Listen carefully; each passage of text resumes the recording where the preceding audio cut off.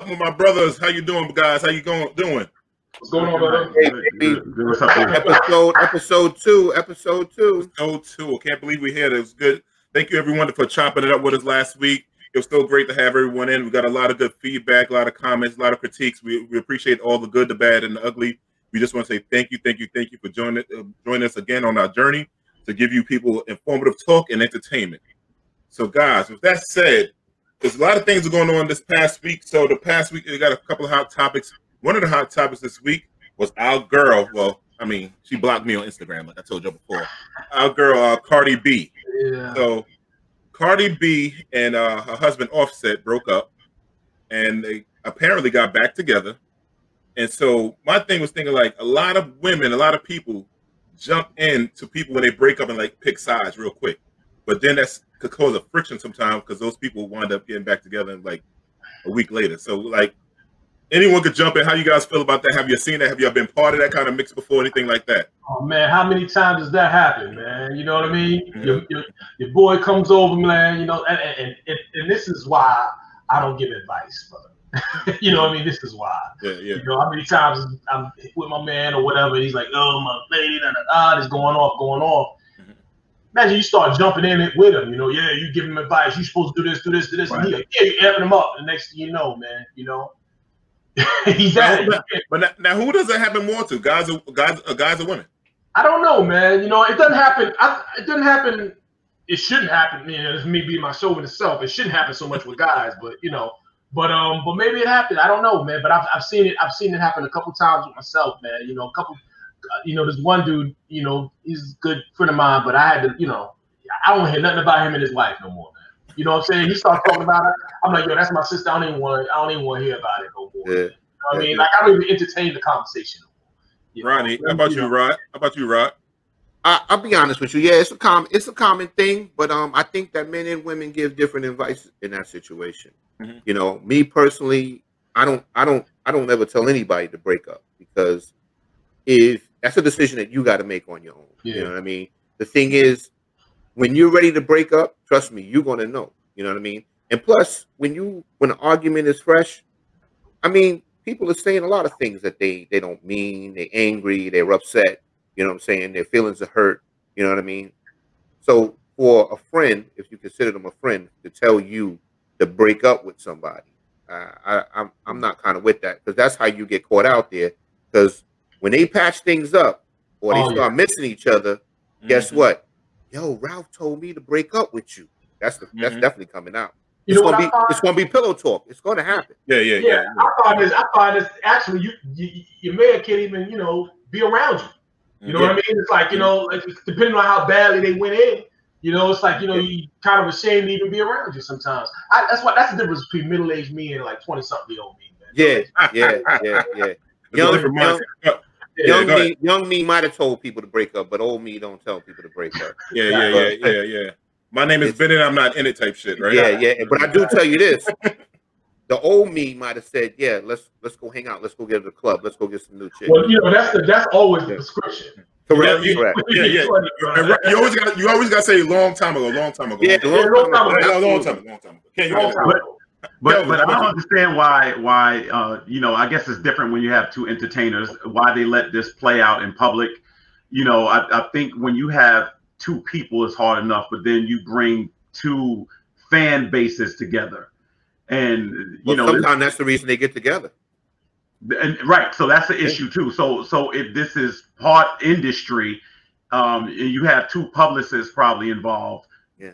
then it, it gets shaped the more people you let in a relationship the more distractions you're going to have about a relationship now I'll, I'll say this one thing i realized regardless of your economic status regardless of your popularity or your position there's certain things that are just common now i would assume there's a lot of people that just feels like when she makes these proclamations, I'm done. I needed to move on. And you're saying that you're having a divorce publicly, and then you're actually back with the person. Then it brings your judgment of the situation into question. People are going to choose sides, and and you actually license them or deputize them to do that if you're going to make these. You know, everybody on social media and they want to share everything that's going on. So I, I think they set themselves up for failure. Yeah, yeah. I, I believe too. Sometimes these breakups are, are to gain more popularity, get people talking about you too. You know right. The question is why do, why do we have a culture that that loves to sensationalize that? You know, I, I mean, you know, those things we we like to see. Drama sells, Calvin. Drama sells. Right, right. Yeah. And, and so we have to take a look at that. Just you know, you, one hand you hear this whole black love and all these different mm-hmm. things that people mm-hmm. want to perpetuate, and then on the other hand, it's like we love to see these shows where people are arguing and people are throwing, you know, bottles at each other and all those things yeah, like yeah. that you know, I, I, think somewhere along the line, we, we got to kind of figure out who, what is the identity crisis in our community. You yeah, know, there's yeah, yeah. people that that love to just see dysfunction because what happens is they're they're comfortable with chaos because that's what they're accustomed to. Correct. Correct. But look, look, look what happened this summer. Everybody's trying to pick sides between Jada and Will Smith with the whole entanglement thing. You know, they look like people wanted was saying Will Smith was a sucker, and they wanted him to really just break up it because I think our I don't want to say our culture, but we we're addicted to the drama and trauma. Like is a, is a fact. Like we it, it was saying, hey, look how many reality shows, like you said, Kelvin, throwing drinks in the face. They love seeing the drama. I don't know what it is. It's just like we're addicted to because people are really rooting almost for them to break up. You well, know, well, Cardi B and Offset. I think the Will Smith situation is very, very interesting for these reasons. Um, first of all, a lot of it just didn't make sense. Uh, what I saw when I saw that that uh, red table discussion that they had between the two of them, I saw something that looked carefully crafted and orchestrated. What I, I say the same thing, two, Say the same actors thing. that were acting. There's only one thing I didn't understand with it: why they took a person who is D-list from from most accounts and acknowledged him on the A-list level because Look, I don't man. think I don't think this is Jada's first rodeo, and I don't think it's mm. Will's. I think that's a, I think they my perception is they probably have an open marriage or something like yeah. that. The average dude that you cheat on is not going to sit across the table from you without you surrounded by security once you talking mm-hmm. about he was with another man, especially one half his age. So yeah. I just I just think I, I, I think what Will what I saw on there was a man saying, "How did you allow this private thing to become public?" Become because public. usually yeah, yeah. when we have these parties or these get-togethers or whatever they may engage in, you usually will have people there that are on their level as far as their status is concerned, and you went outside of that. And that's I think the whole that point. was the issue. That's just the whole point, man. That guy was a couple's toy, man. You know what I'm saying? It was like, you know, he. I think this is what happened. I think she just kind of got wrapped up in something. You know, it was supposed to be a toy, something to play with. She got wrapped up, man, and it got out, man. And I think that was the biggest uh, sin with regards to the marriage. The fact that not that it happened, but the fact that it got out, man. You know, now he that's rubbing up against his brand and it's messing up the whole brand together, man. He's kind of almost got to distance himself from it, but at the same time, you know, still stick with it and um, it's a very difficult thing to navigate at that point, man. Their, their concerns are far, far different from my concerns, man. Yeah, you know what yeah. I mean? So their, you know, their, their, mon- their money is longer than train smoke. They they don't they don't hurt us. We have, you know what I'm saying. And another thing too, they break up, they can move on. Ain't nobody getting hurt. Everybody's yeah. gonna be fine. And one of the comments, somebody said, uh, people are fascinated with train wrecks. Exactly. Yes, that's yes. exactly the case. Yeah, it's the same yeah. reason why you driving along. You know, about what happens when there's a car accident on the side of the road traffic stops. You know what I'm saying? Right. It messes up now, the other lane. It messes up the other lane that the accident is not even in. Well, that's the whole point. Yeah. The, the accident, they didn't pull the car over off on the shoulder. It ain't even in the lane. But you still got traffic because people got to stop and they got to look. You know what and I mean? Yeah, and the yeah. way I've always framed it is this: when you used to go to the circus as a kid and you watch the person walk across the tightrope, you watch for one reason to see if he's going to fall. Yeah, if he's going to fall, you can just push that toward all the things you're talking about. And, and right. then the thing is, when you used to see circus performances where there was accidents at the at the performance, what did people used to say? Dad, I wish I was at that one. You know yeah, what I mean? They wish they was there. Right, right. You know? That's that's what's captivating, you know. And yeah. so, you know, I, I know this happened a while ago, and we were not on air when it happened. Um, but it just seemed very, very carefully rehearsed. It seemed like it, it, came out a week later, then to put it on your own platform that you created, you know. And um, I, I like Will Smith as an actor. Um, something is different in Hollywood. Something is different in the water in Hollywood. You you see so many people. I, I look back to you know when Martin Lawrence had his issues, when when Dave Chappelle fled the industry why these people who have gotten all the success and the money and the fame and the adoration, what is it that makes them want to abandon ship when they get out there? There's certain things that seem to be permissible out there. And I think what happens is sometimes what you do to get in that industry or what you do to stay in that industry, I think puts you at war with yourself sometimes. So something internally, I think, convicts you to say, you know what? Although I'm I'm a star, there's still brokenness inside of me because of what I had to do to become a star, and it wasn't just predicated on my talent. Yeah, yeah. Someone said seeing someone else's trauma is make you feel blessed about how, like, I guess how your life is feeling. Like you feel good about yours when you see somebody else going through something tragic. I, I, think there could be some truth to that. It, it depends on the person. Some people yeah. made me very, very humble and not to mm. take my life for granted. Other people like to say, good, I can deflect from my own life and look how bad somebody else's is and make me feel better about myself. And I think that part may be dangerous. Yeah, yeah. I think it might touch the same the, the same bone as comedy though, man. You know what I'm saying? It's like, you know, the thing yeah. that makes comedy so funny is the realness of it. You know what I mean? Yeah. Right. So, you know, it's it may be the same thing that keeps us interested. You know what I mean? Right. And that's fair. There is there is no bad press, like they say. All press, all attention is good attention, long as people are watching or listening. Mm-hmm. You know? Right. You know, yeah. you just got to be able to live with yourself. You know. But uh, yeah. I know, I know. I remember when you were saying about the drink in the face. I used to sit there and watch some reality shows, and then you see that um, women fighting. Basically, oh, a group of God, women get together to go out to dinner so they can fight. That's that's crazy. right. I mean, we all gonna get together. We gonna go on a trip, and we gonna hope that somebody fights. You know what I'm saying? Right. That's, that's crazy. Well, I think more importantly, you can't have a camera crew there unless you promise them action. Correct. I mean, yeah. that's, that's, and security there. Right. Yeah. Nobody wants to come and see everybody unified. That's not yeah. why they that's why yeah. that's, that's, not that's, why they get paid. And, and, like you just admitted, that's not why you watch. You know what I mean? Mm-hmm. Some people want to watch something on screen that represents what you think or like, but you can't do in your real life. And that becomes fantasy, and that's what it is. Yeah. Yeah. So guys, another hot topic this week was one of probably one of my hip hop idols kind of let me down. But I mean, let me not put my opinion out there yet. Our man Ice Cube with the uh, plan for Black people. So if people don't know, Ice Cube has said he has this plan that he met with uh, Jared Kushner in, in the Trump uh, Trump Party administration. He flew out to D.C., met with them, and he come with this a black plan. And I guess Trump and them call it now the platinum plan. The platinum plan gets the appeal to us. I guess we like platinum and gold teeth and shit like that. Yeah, we like shiny things. like so. I mean, you might as well call this shit the Ciroc plan or the Hennessy plan. Yeah, yeah, yeah, yeah. so, I mean, what what do you guys feel about Ice T and uh, I mean Ice Cube? And I got I got something I want to say, but I'm gonna let you guys go first. Anyone you guys can take the mic right now. Listen, man, I think it's telling what you just said. Like, you know, uh, you know, it's the platinum plan. You know what I mean? Like, it's kind of like that's whoever came up with that. It's like, you know, that's that our idea of wealth. You know what I'm saying? It's got to be like Ciroc. It's got to be expensive. You know, how much money we can spend. You know what I mean? We don't think about, you know, uh, growing our wealth or whatever, just, you know, throwing it up in the air. You know how it is, the whole make it rain syndrome, throwing it up in the air and everything. You know what I mean? So, yeah, it's platinum plan, it's Ciroc plan, it's Hennessy, whatever you want to call it. You know what I mean?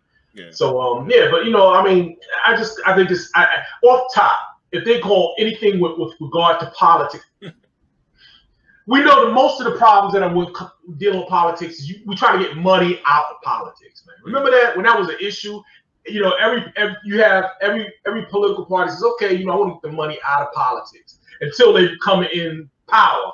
Then you know it kind of goes away. You know what I mean? Mm-hmm. So it's just like you know, it, it, it to me it's just kind of like it, it, it almost it almost is like uh you know, something subliminal to us as voters, you know what I mean? Like, so that we don't even have a conversation anymore of getting money out of politics. Yeah. It's like, you know, what are you willing to spend? How much are you willing to spend? You know, how important is your vote to you? You know what I mean? So I don't know. You know, I think it's um, I I, I think we're in a, I think we're in a very strange place right now. Right this, yeah, is, this is know, the way I saw it. Let me say this. This, this is this is a, a promise I tried to make to myself, which is not debate with anybody on a subject I don't know what I'm talking about. And what I saw Ice Cube do was start the debate a subject where he looked like he really didn't know what he was talking about. Yeah. He wasn't in his wheelhouse. Now, I watched his interview with, with Chris Cuomo. Then I watched his interview with Roland Martin, the one with Roland Martin, and I oh. knew Roland Martin wouldn't let him off the hook. I oh, knew he wouldn't let him off oh, the hook. No. No. And what he, he did was Ice. Cube embarrassed mm. himself, in my opinion. Mm. I thought he was going to do that. What what happens is, is the, the the Trump administration, and I agree with D.L. Hughley, who had mentioned that the Trump administration does not get with people or invite people that are experts in their field. They Correct. just think the way to communicate with the black community is through either hip hop or athletics or entertainment in some form. That's so the they, issue. They, they don't ask uh, Dolly Parton to come up there. Right. They don't, exactly. they, they don't, exactly. don't white, people, white people don't they don't ask uh, Dan, let's speak to Danny DeVito. Now this no. is what I didn't understand. this is this is what I did not understand. Or Chachi. This is, this is this is the Trump effect that amazes me. So you here are less than three weeks out from this election about, right? Mm-hmm. So Ice Cube goes and connects his name, whether he's a part of the administration or not, he connects his name with Donald Trump while the ship is sinking. He connects it now. Now, now, what you did was you isolated your fan base, the yeah. people that go to see Friday movies, the people that that that that love your your music. You're the one that that that had f the police and all this stuff like that. Now you got a man that said we need to restore law and order that has no regard for for so, for sensitivity of black issues. You connect or align yourself with that person three weeks before the election. It made absolutely no sense. In other words, I could not think of one thing that Ice Cube could gain from this. But listen, though, one thing. That's the thing, though. We're talking about entertainers. You know what I mean? They all they have a. I think it rubbed up against an old muscle of his. You know what I mean? Which is to say he's kind of like entertainers are like a, a clear blank wall. You know what I mean? For advertisers and for promoters and everything. You know what I mean? Just throw yourself, throw money, and, and it's it, it's almost a reflex. If you throw money, enough money at him, he's going to grab it and he's going to promote it, and he's not going to think that hard about it. You know what right. I mean? Yeah. So right. that's what I really feel. You know how, how I see it. I'm like D. I was I'm a huge fan of Ice Cube. I remember Ice Cube's first record. I follow Ice Cube on Instagram, and when I was following Ice Cube on Instagram, I had a little issue with him telling people to withhold your vote until you get something. I absolutely agree with you. Okay. I, I so now, the thing is, I just saw something in the comments by somebody. I'm sorry if I didn't catch your name, but the thing is, Ice Cube should have known better than this because this happened to Steve Harvey as well. Steve Harvey took his behind yeah. up to the Trump Tower, yeah. and the thing yeah. is, he had to wind up hiring PR people to revive his fucking career. Yep. You know what I'm yep. saying? So now the thing is this: Ice Cube, like you said, they they let Ice Cube come up there. They didn't let anybody that's um um, educate or have a background in medicine, education, law, or anything like that to put a plan together for the black community. They let a rapper come up there, and I'm not not downgrading um Ice Cube or whatever. Maybe his intentions was well, but he should have known better to do this. He does not have the background to be able to do something like this. You know what I'm saying? Then, hold on, wait a minute. Let me just. And then the thing is, too, Trump is known for optics. So the thing is, he's going to anybody anybody come up there black. Guess what? He's going to take a picture with them. He's going. To it's going to get out that they were up there, and it's going to try to gain black votes. And that that's that's what it's about, you know. Okay, but you so, got you got to unpack. You have to unpack, you know. You have to unpack this. What what Ice Cube said today was was interesting. Or the interview I saw, Ice Cube has given the impression that the administration sought him out. I want to know, out of all the entertainers in the world, what would make this administration go to Ice Cube? Like well, no, Ice Cube has white. Ma- See, the thing is, like Phil Simon was saying before, Ice Cube has white management. Not saying anything we have with white management. No, no. But his, but his manager was the one that made the connection to, to the yes. whole party. But if you're so, the Trump administration, so, but you have gone after Chuck D. Yeah, exactly. So that's my thing. Is, so it, it, just doesn't seem plausible. But my, my, man, my man Brad said he should have took Ja Rule. But um, so here, here's the thing with ice. This the thing with the whole the Tone Loc. Tone Loc should tone look, yeah, wild thing. So here's yeah. one thing. One thing with Ice Cube is like he when he said that the, the Democratic Party said wait till after the election, whatever party. The thing is, Ice Cube was also invited to meet with Kamala Harris, who's a representative of California with him, with T.I., Snoop Dogg, D.L. Hughley, and Killer Mike. Ice Cube wow. refused. Ice Cube didn't show up. So with him saying that, like they didn't reach out, they did. I don't know if Ice Cube has a thing against women because in this in this in this black contract, there was no, nothing mentioned about black women. Nothing mentioned. So you got so so that's, you know that's, so that's my point too. Like he's not you, you, can't go up there and make a deal if you're not going to take care of everybody. Yeah, but like, see the thing is like you got to take care of all of us. The thing yeah. is when you like if I'm going to meet with somebody like that, I'm gonna bring my Louis Farrakhan's. Correct. No matter if you don't like them, win, lose, or draw, you don't like. Them, I'm gonna bring some. I'm gonna bring uh, uh um Dr. Claude Anderson, uh, Dr. Boyce Watkins. You know what I'm saying? I'm I'm I'm gonna bring my sister Simone's and all. all, all the- that's what I'm bringing to the table because they're gonna come with their full squad. Yeah. Why yeah. not yours? Like you come with that, like, okay, where was you Ice Cube during the primaries? Where were you Ice Cube four years ago when this guy came in? Why this the, the thing about his uh uh Black Planet uh, for Black America, whatever it was called, the, cause, the Black Caucus already had this four years ago. Why didn't you bring Hakeem Jeffries? Why didn't you bring Cory Booker? Who had this been this point- thing's been sitting on Mitch McConnell's desk for four years? Your Yeah, point is what blows holes. Your point. Now listen to what he said. They asked, and I, I think it was Roland Martin that asked that same thing about the primaries because someone I think um, you know emailed him or something and wanted to ask Ice Cube that question. Mhm. Ice Cube says these exact words. Well, I was actually doing art. I was actually, in other words, I was working. Remember, he had his basketball league. He had all the things that he does. He says, I thought this stuff was handled. Then I looked up and, and I said, right there. So, in other words, between when Trump got in until recently, you thought this stuff was handled. and then you looked up. What, what made you look up when they stopped, when you pulled your players off the court? When you weren't making money with the league anymore? What made you all of a sudden just look up? You, you Mm. see what I'm saying? It reminded me of when Michael Jordan made this outlandish statement uh, uh, last year about I can no longer stand by and watch what's going on with my people. Yeah, because Oh. you're 55 years old now, and it's Yeah. not gonna rock the boat like it would have when you were younger making that Right. money. So all this idea that everybody just all of a sudden just looked up or just had this awareness, everybody knows this struggle has been going on long before you know our great grandparents got here. And so what happens is it makes people think that there's something else in it for Ice Cube for you to come right now and jump onto a sinking ship three weeks before this man's fate is determined. And I don't just think Trump is going to lose. I think Trump is going to lose going away. I think he's going to get blown out. I think Oh, he's, he's gonna, definitely. I think he's going to be embarrassed on election day. Yeah. Yeah. So Yeah, Ice, yeah. like Ice Cube, his trigger, I guess, was George Floyd, which happened what in the spring. So he didn't come out talking to August. So you still had a gap of three months. Like you, if you just woke up that from a coma. And Oh, but he, but he thought it was handled. yeah, like He thought, it's thought it was handled. Right. I guess I guess that's how most entertainers uh, wind up in uh, tax court because they always think theft was handled. Right. Right, right, saying? Like, that's like, like, Like, I saw that Ryan mentality, And listen, man, I'm not upset. Listen, that's real though, because they, their job is to be entertainers, not to be accountants. You know what I'm saying? That's real, and that's why it's very important to have good people around you. But you have to know that those people around you really have your best interest, and uh, and you really have to live or die on those decisions that they make for you. And since we're speaking You of entertainers, we have another entertainer jump in the throw his hat in. He's been doing it for a while. Our man P Diddy, Sean Combs. So if you haven't seen recently, P Diddy has Yeah. started saying that uh, the white men of today is dangerous. We got to look out for them. Before he was about holding the vote and stuff like that. And I'm like, he's another entertainer. Yeah. You Just to Yeah. smooth with Trump and all that stuff like that now. So any guy, any of you guys can take it. I don't want to take it over.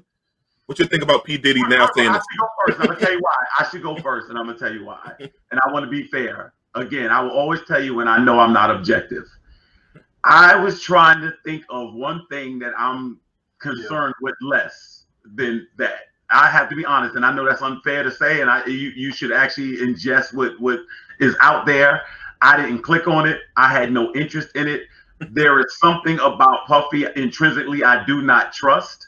Um, there's something about him that uh, I think just uh, seems very, very um, selfish and calculated, and I just don't. For him to, I remember the uh, the vote or die shirts, and then people felt that that was some type of marketing scam, and so Mhm. I, I, the reason I said I, I think I may have to recuse myself from this subject, but um, I'm, I'm definitely interested in hearing what you gentlemen have to say about it. I, I would say this: any any anything that you hear with regard to politics is going to be it's all marketing. You know, every politician that you ever saw that ever was successful, you know, had to market themselves some sort of way. They had to find their niche or whatever. You know what I mean? So I don't begrudge him uh, doing whatever marketing he has to do to get across his. Uh, As long as you believe in the issue you're as long as you believe in it, exactly. As Right. long If as you believe in the issue. a marketer, then I have Yeah. a problem with that. Yeah, yeah, and and you know, is it in our best interest? Because you know what I mean. I have to align myself with it in order to receive, you know, the the the the idea or whatever and, and, get with it. I think you know, listen, for a long time we've talked about you know we need another party. You know what I mean? And if he's going to turn around and create, and he thinks he has the wherewithal or whatever to create or uh, a movement, and which may eventually lead to another party, fine. You know what I mean? I don't now when we think of parties, there are many political parties. You know, it's not just Republican and Democrat. You know what I mean? So, you know, it's not out of the question that he can, you know, he can go and create a party. He certainly has the money, he certainly has the influence. You know what I mean? He can just go and submit whatever paperwork he has, you know, and, and try his best to get his candidate or whatever, you know, on whatever balance he needs to get. You know what I mean? Whatever he's yeah. targeting, whether it be local levels or or, or, or national levels, you know. So more power to the brother. We could probably use it you know what I mean? I just want to know, you know, what his real, what you know, what they, what you know, what platform they're about. You know, I think they they, re, they released uh, some of the, some, you know, what what, it, what yeah. they're about. And, and the thing is, like the rich, like celebrities have the access. Puffy has his own channel, so he's always going to get on television. Right. You know, and, and like yeah, he's always he's always going to get your views and ratings and stuff like that. You know, so go ahead, go ahead Rod. Close out. The no, the, the thing is too. I was looking at one of the um people making comments, um Brittany Holder, and she typed some exactly what I'm sitting here thinking you know, you got to understand, Ice Cube and Puffy are black men that happen to be rich, not rich men that happen. And they benefit from Trump. Okay, correct. That's where I'm going with this. That's where I'm going with this. So the mm. thing is, if Trump stays in office, they win. Because the thing yeah. is, even though we're all black, it's like basically me, Ice Cube, P. Diddy, you know, we in the same game because we're black, but we're not wearing the same jersey. So the thing is, they can't. They, they got the green. They got, they got, green and black. They got, yeah, they got, they got, the green and black. more green. They got a lot more green. Because the thing is, the more money they make, the more tax cuts they're going to get, which is going to make them yeah. richer. You know what I'm saying? Where me, I'm not going to see too much of that because I don't make their type of money. You know what I mean? Mm-hmm. But the thing is, when you go around telling people withhold their vote or whatever, that's that's that's reckless and that's irresponsible mm-hmm. to me. Mm-hmm. You know what I mean? Because basically, you're not in the communities that we're in and the needs that that that we need in, in, in our families and stuff like that. So for you to go around saying that is just totally irresponsible. You are helping them suppress the vote. Yeah. So, you're helping them. You know what I'm saying? So the, and the thing yeah. is, why why the thing is, why do you continuously have this voter suppression towards minorities if the vote if the minority vote doesn't mean anything? That's why they're suppressing it because it does mean something.